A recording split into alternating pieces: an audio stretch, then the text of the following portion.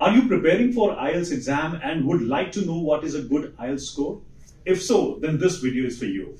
Because in this video, we will tell you what the IELTS band score are, what do they mean, and how much score you require for admission in an overseas course. But before that, please like this video, share this with your friends, and do subscribe to our YouTube channel.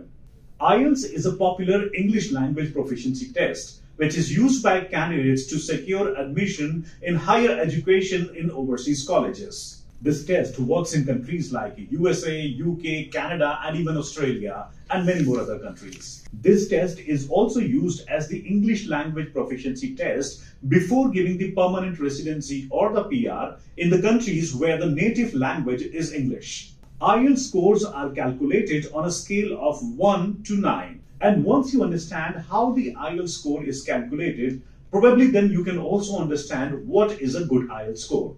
Different levels of IELTS score, which are also called IELTS band, define the kind of expertise you have in the English language. It demonstrates how much you understand English as a language in terms of speaking, writing, reading, and listening.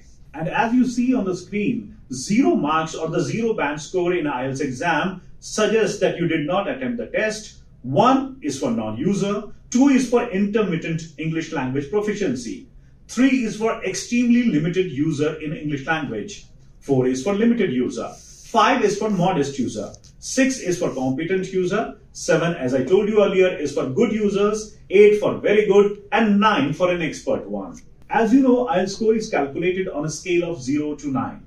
IELTS oh, overall band score is calculated by taking the mean score of all the sections like speaking, listening, reading, and writing. The score for each section is weighted equally. The candidate's overall band score is rounded to the nearest half or the nearest whole band score. For example, if your average overall band score is 6.75, then it will get rounded off to 7. In case if your overall score is an average of 6.25, then it will increase to 6.5. And if your overall average score is 6.1, then it will decrease to a score of 6. And now for your proper understanding, let's discuss all kind of bands in a little bit detail. As I told you, 9 IELTS band score means that you are an expert of English language. You use the English language fluently and accurately. 8, which tells the skill level is very good, means that you are a very good user and have operational command of the English language. But you may misunderstand in some unfamiliar situations. 7 is a good score, which means that you are a good user and have a good command on English language with occasional inaccuracies. 6 is for competent user. This means that you are a competent user of English language and have an effective command of the language with some inaccuracies and inappropriate usage in certain situations. 5 is for a modest user.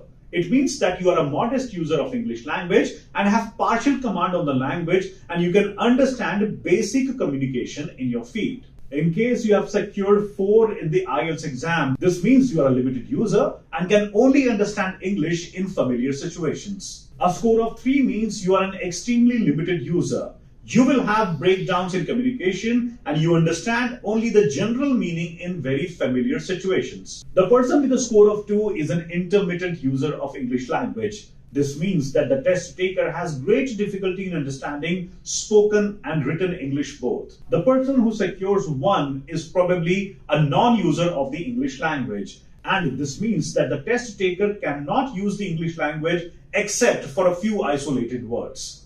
And if someone has secured a zero in IELTS exam, that simply means that the test taker did not answer any question in the exam. Now, what is a good IELTS score? This is very important to know because this will tell you whether you will get admission in the desired university or not. Every country has IELTS cutoff according to their academic requirements. Top universities in the USA like Harvard and Stanford take an average IELTS score of 7 or more. Similarly, universities in UK like Oxford and Cambridge take an IELTS score of 7.5 or more. To get into the top universities of Canada and Australia, you require an IELTS score of 6.5 or 7 or more. One question that might pop up in your mind is what is the validity of IELTS score?